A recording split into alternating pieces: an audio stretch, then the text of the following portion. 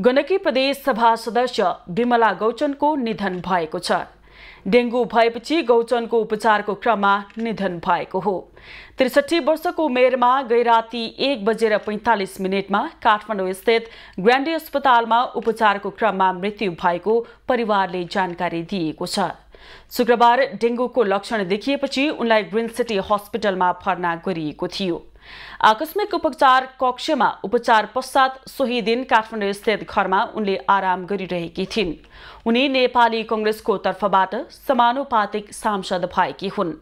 दुई हजार अठार मङ्सिर अठार गते मुस्ताङको थासाङ गाउँपालिकामा जन्मिएकी गौचन नेपाली कङ्ग्रेसको महाधिवेशन प्रतिनिधि समेत हुन्। उनी पर्यटन व्यवसायी समेत थिइन्। गौचनका एक छोरा र छोरी छन्।